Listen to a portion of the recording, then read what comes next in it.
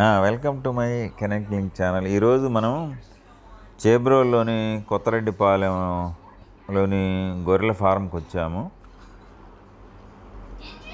కనపడేది నా కారు. ఇది ఫాము మన పిచ్చారెడ్డి గారి ఫామ్ ఇది గొర్రెల ఫాము. జాగ్రత్తగా చూడండి. ఈ ఫారంలో గొర్రెలను చూద్దాము. వాళ్ళ పెంపకం గురించి వాళ్ళు పడిన ఇబ్బందుల గురించి మాట్లాడు మాట్లాడొద్దమ్మా.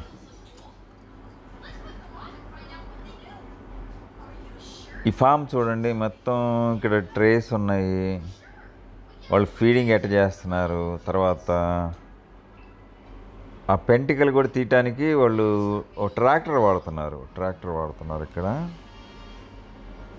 ట్రాక్టర్ వాడుతున్నారు. చూడండి ఆ ట్రాక్టర్ చూపిస్తున్నాను మీకు. ఆ పెంటికలు తీయటానికి.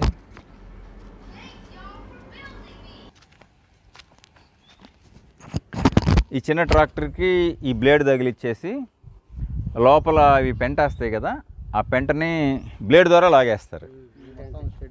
లేకపోతే మీరు ఎత్తాలంటే ఎత్తలేరు కదా? ఎత్తలేరు చాలా కష్టం. చూడు రైతులు ఇక్కడ పనిచేసే వాళ్ళు చెప్తున్నారు ఈ చిన్న ట్రాక్టర్కి చూడండి చిన్న ట్రాక్టర్ మిత్సుబిషి ట్రాక్టర్ శక్తి ఇది. దీనికి బ్లేడ్ తగిలిచ్చి ఆ లోపల ఉన్న పెంటని ఎన్ని రోజులకు ఒకసారి తీస్తారు? మూడు రోజులకు ఒకసారి పెంట తీసేస్తారనమాట లేకపోతే ఏంటంటే అది ఇక అట్టగట్టిపోద్ది ఖరాబ్ అవుతుంది వాటికి ఆరోగ్యం దెబ్బతింటుంది పొట్టేళ్ళకి వర్షం పడినప్పుడు గలీజ్ గలీజ్ అవుతుంది మొత్తం. తడిచి. సో అక్కడే పడుకున్నప్పుడు ఏంటంటే ఆ చర్మానికి అదే అంటుకుంటుంది. అంటుకొని దాని ద్వారా జబ్బులు వస్తాయి. అందుకని అందుకనే ఈ బ్లేడ్ ద్వారా తీసేస్తారు. ఒకసారి ఏంటంటే ఇవన్నీ చూపించమ్మా. ఫామ్లోని ఎట్లా ఉన్నాయి ఆ మధ్యలో ఏంటంటే బ్లేడ్ ద్వారా తీసేస్తారు. పెంట. అంతేగాని చేత్తో తీయటం అనేది కుదరదు. చాలా కష్టం ఆ. ఓకే. తర్వాత ఈ టప్స్ పెట్టారు అవి ఎందుకమ్మా? ఓహో వాటికి వాటర్. Okay okay. అవి కూడా చూపించు. దానా వేస్తాం సార్. దాంట్లో కూడా దానా వేస్తారు. ఆ తోటలలో దానా వేస్తారు. తర్వాత మధ్యలోనేమో పెంటలు ఆగేస్తారు బ్లేడ్ ద్వారా.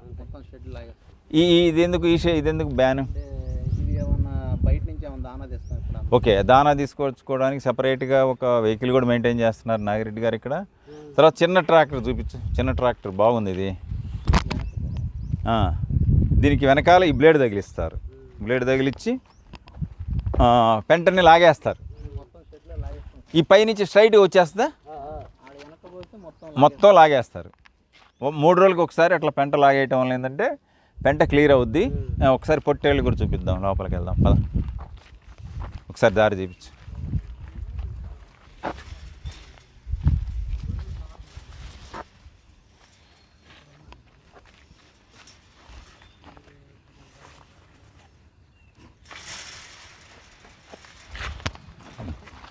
ఓకే పొట్టేళ్ళు లోపల షెడ్ లోపలికి వస్తున్నాం చూడండి జాగ్రత్తగా.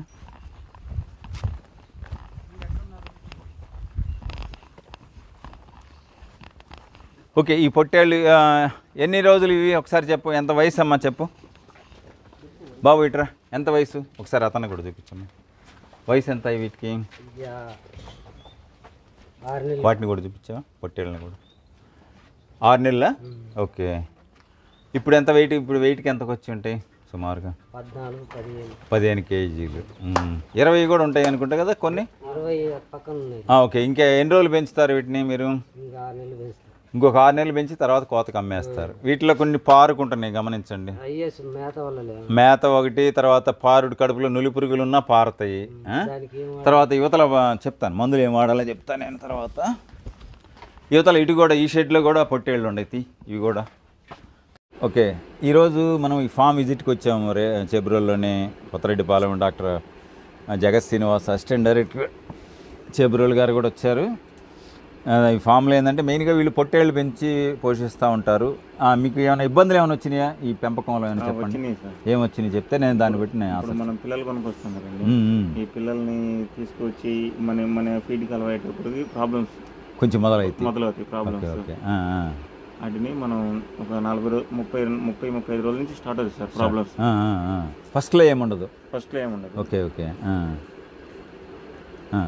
ప్రాబ్లమ్స్ వచ్చాయండి. హెల్త్ ప్రాబ్లమ్స్ వచ్చాయి. problems ఆ, వచ్చాయి. ఓకే. మేజర్ ప్రాబ్లం పెద్ద జబ్బులు అయితే వచ్చి వందల్లో చనిపోవటం అట్లేం జరగలేదు కదా? స్టార్టింగ్లో చనిపోయినాయి. చనిపోయినాయా? ఫస్ట్లో ఇప్పుడు ఎన్ని ఏళ్ళ క్రితం సుమారు? మేము పెట్టిన మొదటి ఏడు. ఏ ఫస్ట్ మొదటి ఏడు అంటే ఎన్ని ఏళ్ళ క్రితం? Four years okay. Four years back మీకు ఆ ఇబ్బందులు వచ్చినాయి కానీ తర్వాత అనుభవం మీద తోటి మీరు కరెక్ట్ చేసుకున్నారు అవన్నీ. అవన్నీ బయటపడ్డారు. ఏది జబ్బులు కానీ తర్వాత టీకాలు ఏమి వేయించుకోవాలా డివార్మింగ్ వేయించుకోవాలి? మెయిన్గా ఏంటంటే మీరు పొట్టేళ్ళు కొనేటప్పుడు నేను ఒకటే ఈ ఛానల్ ద్వారా చెప్పదలుచుకుంది ఏంటంటే పొట్టేళ్ళు పెంపకంలో దిగుదాం ఉన్న వాళ్ళకి మెయిన్గా నోట్ చేసుకోండి జాగ్రత్తగానండి. మెయిన్గా చిన్న పిల్లల్ని కొనకూడదు. బోట్ వచ్చి ఉండాలి మిగును అరంగులు వచ్చి ఉండాలా బరువు పదిహేను నుంచి ఇరవై కేజీలు ఉన్నాయి కొనాలి. చాలామంది తప్పు చేసేది ఏంటంటే చిన్న ఎక్కువ నంబర్ వస్తాయని చిన్నవి కొనుక్కుంటారు. అట్లా కొనుక్కోవటం వల్ల ఏంటంటే రోగాలకు గురవుతాయి. దయచేసి ఎవరు అని కొనొద్దు. బోటు ఒక అరంగులం వచ్చి ఉండాలా బరువు పది నుంచి పదిహేను కేజీ నుంచి ఇరవై కేజీల మధ్యలో ఉండాలా. అవి మీరు ఆరు నెలలుగా సంవత్సరం నుంచి అమ్ముకోండి మీకు నష్టమేం రాదు. తర్వాత రెగ్యులర్ వ్యాక్సినేషన్ డివార్మింగ్ టీకాలు వేయించుకోవాలి. మెయిన్గా పీపీఆర్ ఎఫ్ఎండి తర్వాత ఈ బ్లూ టంగు ఈటీ. ఈ వ్యాక్సిన్ నాలుగు compulsory. Blue tongue FMD ET PPR. PPR. Vaccine ET చాలా కంపల్సరీ. ఈటీ అంటే ఈటీ తెలుగులో ఎంట్రోటాక్సిమియా. దొమ్మరోగం ఉంటుంది అది చాలా ఇంపార్టెంట్. బ్లూ టంగు నీలి నాలిక ఎఫ్ఎండి గాలికుంటు వ్యాధి. వీటి కంపల్సరిగా సీజనల్గా వ్యాక్సిన్ కంపల్సరీ చేయించుకోవాలి. ఏ సీజన్లో ఆ డాక్టర్ సలహా తీసుకొని టీ- టీకాలు కంపల్సరీగా వేయించుకోవాలా తర్వాత డివామ్ వీటిలో టేప్ వామ్స్ ఎక్కువ ఉంటాయి. టేప్ వామ్స్ అంటే బద్దె పురుగులు ఉంటాయి. వాటికి niclosamide ivermectin fenbendazole liquid solutions standard forms నుంచి వాడుకోవాలా. అది డాక్టర్ సలహా తీసుకోవాలా. పది నుంచి ఇరవై ఎంఎల్ దాపించుకోవాలా.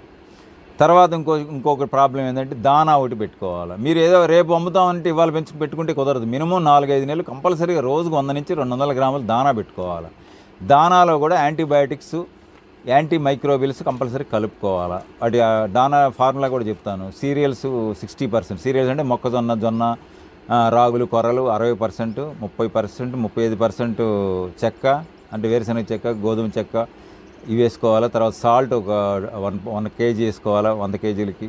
తర్వాత మినరల్ మిక్చర్ ఒక రెండు కేజీలు. వంద కేజీలు తయారు చేసుకుని దానా పెట్టుకొని రోజుకు వంద నూట యాభై గ్రాములు రెండు వందల గ్రాములు పెట్టుకుంటేనే మీకు ఉపయోగకరంగా ఉంటుంది. వ్యాక్సినేషన్ రెగ్యులర్గా ఫాలో అవ్వాలి? డివార్మింగ్ ఫాలో అవ్వాలి? తర్వాత మెయిన్గా ఏంటంటే ఒకే చోట ఇందాక చూపించాను కదా మీకు ఆ పెంట ఎయిర్ చేరినప్పుడు ఏంటంటే జబ్బులు వర్షంలో పడినప్పుడు అక్కడే పడుకుంటే ఆ మ్యాటింగ్ ద్వారా ఇన్ఫెక్షన్స్ వస్తాయి.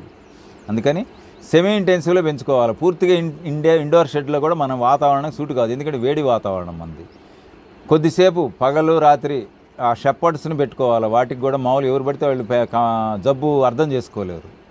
యాదవులు ఆ గొర్రెలు పెంచే వాళ్ళకే అర్థమవుతుంది. అందుకని పెంపకందారులు కూడా కంపల్సరీగా వాళ్ళనే పెట్టుకోవాలి. పెట్టుకుంటే వాళ్ళు ఏదంటే మందలో ఏదైనా జబ్బు పట్టిందని ఇమీడియట్గా సెపరేట్ చేసి దానికి వైద్యం చేసి పెంచుకుంటే అవి రికవర్ అవుతాయి.